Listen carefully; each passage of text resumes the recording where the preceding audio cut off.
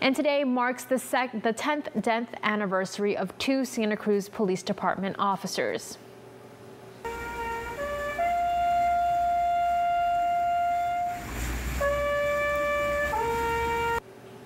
Community members and the Santa Cruz Police Department honored Sergeant Butch Baker and Detective Elizabeth Butler. Back in 2013, Sergeant Baker and Detective Butler were approaching a suspect in a sexual assault case when they were gunned down in broad daylight. They are the only two officers killed in the history of the department.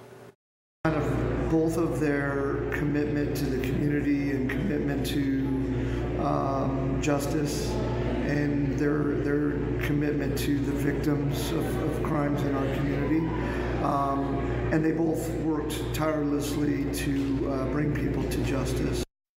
A ceremony started at 3:23 p.m., which is the exact time they were killed.